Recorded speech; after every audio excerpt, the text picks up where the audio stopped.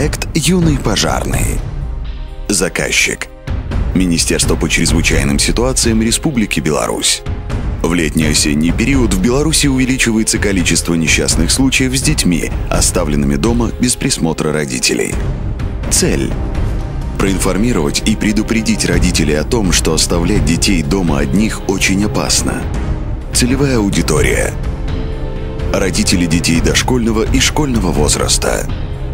Задача достигнуть максимальной информированности родителей о возможной опасности возникновения пожара. Решение наглядно показать, что оставляя детей одних без присмотра, следует сразу готовиться к пожару. Реализация.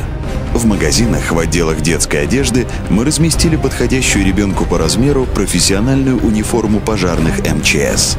Рядом с формой размещалось сообщение «Для детей, оставленных без присмотра».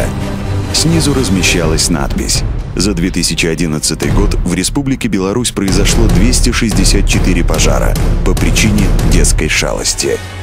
Результаты.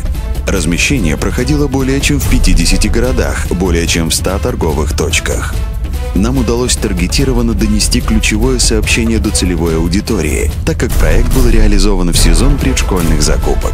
Информация о данном проекте получила бесплатное размещение в более чем 50 печатных изданиях, а также вирусно распространялась в социальных сетях.